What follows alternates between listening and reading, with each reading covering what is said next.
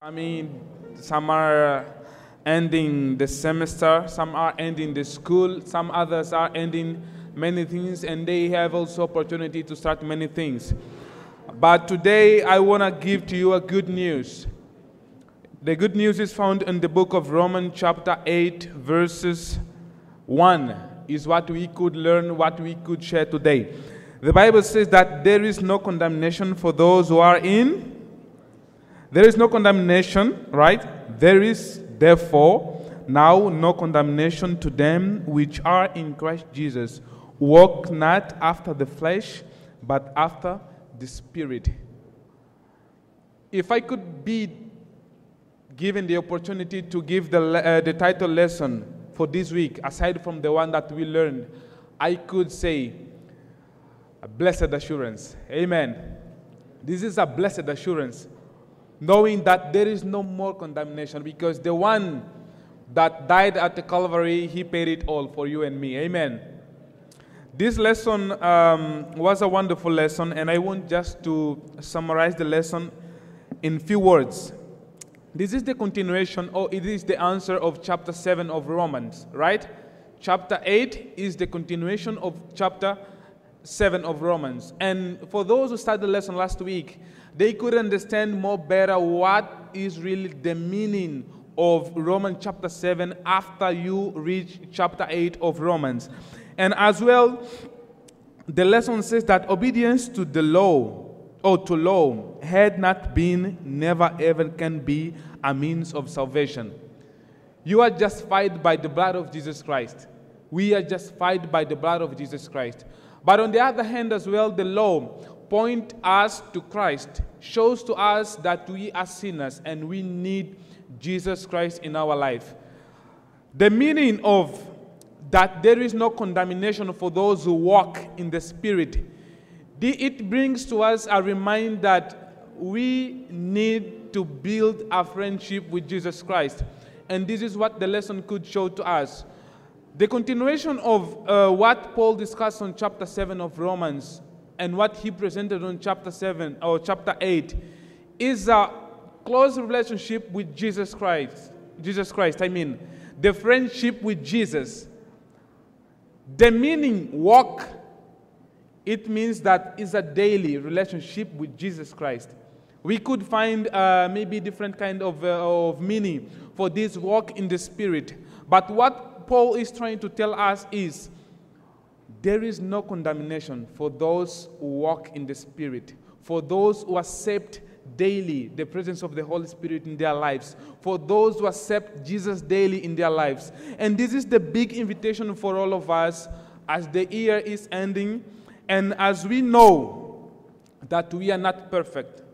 We have many sins to confess. We have many things to repent. And Jesus is inviting us today. Through the lesson, we could understand that indeed Jesus wants to walk with us. Not tomorrow. And He didn't leave us yesterday. He wants to walk with us every day. This is the reason why there is no condemnation. Only for those who are willing to build their friendship with Jesus. And we know what friendship means. When you are friendly with someone, if the friendship is good, it gives you the test to continue be a friend of this one, not to stop, right? I have a best friend, and my wish is to be always with my best friend. And the same thing happens when we are in Jesus Christ. That's why there is no condemnation. I hope we could learn, and I hope we could put it in our hearts.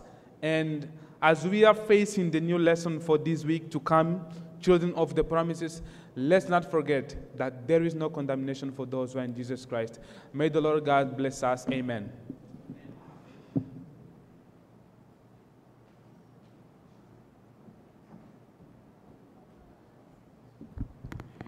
For the closing song, let us stand and sing Victory in Jesus.